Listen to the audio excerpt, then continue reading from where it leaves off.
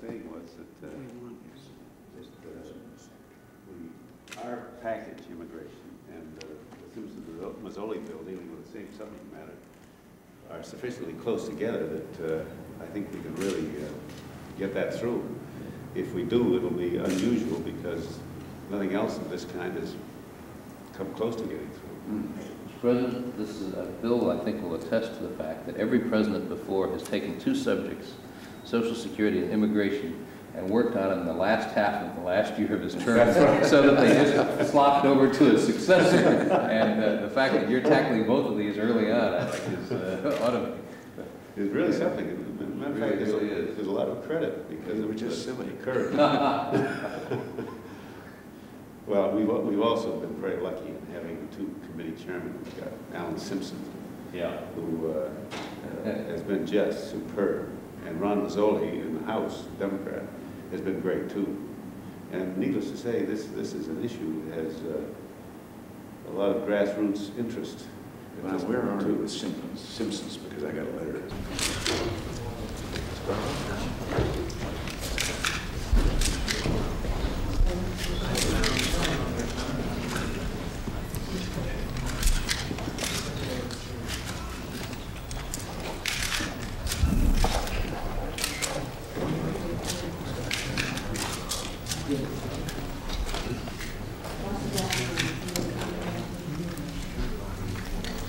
Mr. President, uh, I want you to note that we brought this discus with us. It was used by the U.S. Paralympic team during the first competition of the U.S. team in Rome in 1960. We would be very honored, sir, if on the occasion of this kickoff, if you would sign it for us at your leisure. And we would like to have it perma- permanently ensconced in the National Wheelchair Athletic Hall of Fame. Very proud of you to sign that. I'll have to wait, I'll get away from desk and ready to All right. Here is it.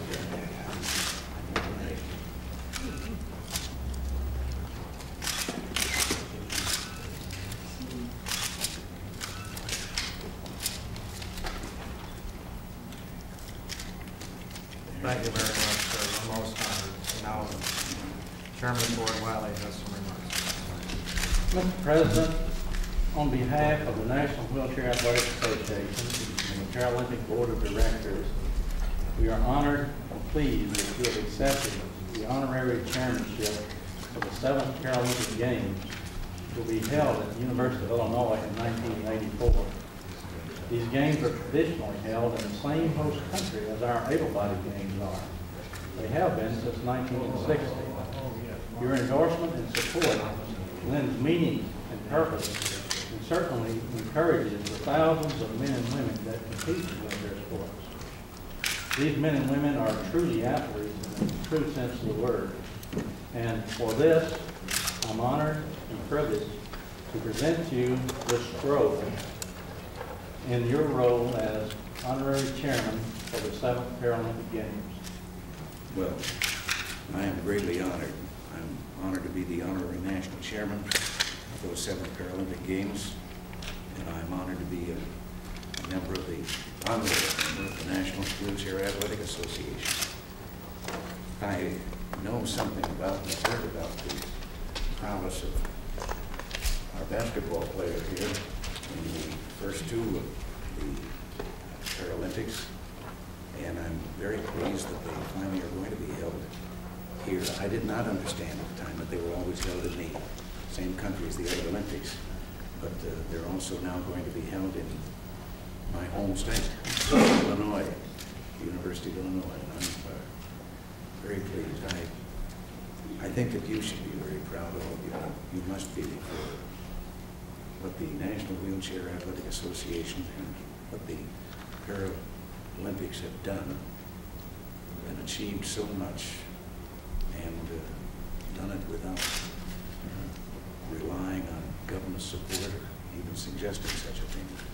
And I know how many of those who performed in these athletic contests have gone on from this to uh, challenging jobs.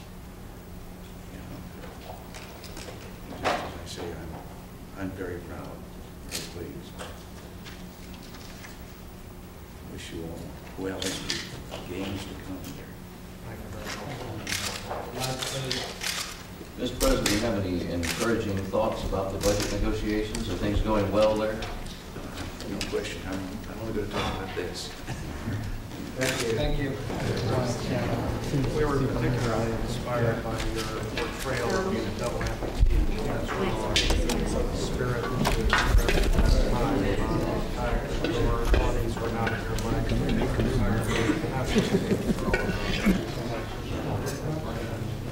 Listen, I'm very well.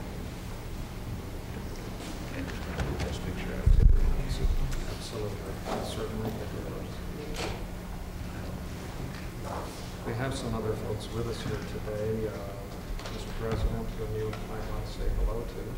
Well, Yes, we all said tonight, and I would, uh, the University of Illinois Stadium where these will take place is kind of familiar territory to me. I once appeared there a track meet, the high school state finals, and uh, then was also back a few times as a sports announcer broadcasting football games there. I remember uh, back during the war when Buddy Young was the great star. Uh, Then he was there in the officers' training course that was run at Connection University. I'd like to, I, what, will this be at the same time as the other Olympics? It precedes the games in Los Angeles. These are June the 19th through July the 4th.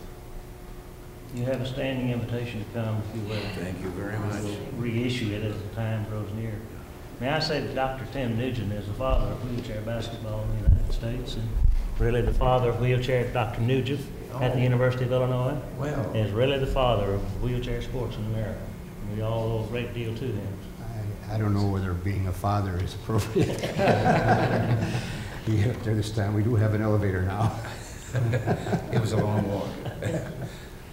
I might say this too, if I may, that uh, this entire program is really in the true spirit of your program of volunteerism. Everything is being done through volunteers. All the funds will be raised through the public sector. No monies from uh, taxes or anything of that nature. We're not I seeking that's that. In that light, uh, Listen, wouldn't you all like to come in here as long as our photographers are still here, aren't? Huh? Could we? You get a picture? Mr. President, I think you would be happy to know that in the 35 years wheelchair there's never been a paid employee. Yet we have thousands and thousands of people competing every year in national games and tournaments and all sports. I think that's commendable, and it does fit with And we're the only country that does so. We're the only country The only that one. totally privately supports the entire effort. And every once in a while, I read those columns sneering at me and telling me that, the well, I saw the CBS show last night, the special, and uh, as if volunteerism, uh, you know, only government can do it. But I don't believe that. Well, these two young men are perfect examples because they're both leaders in the field. Thank you, Mr. President. And I know what he's doing now. We're going to have a few answers for Mr. Moyers. Very constructive, very positive answers, and work hard at it. And I'll guarantee you that we'll have a good program for you. I looked at that last night, and uh, even without checking in here, or checking out Acton, every one of those things was dishonest.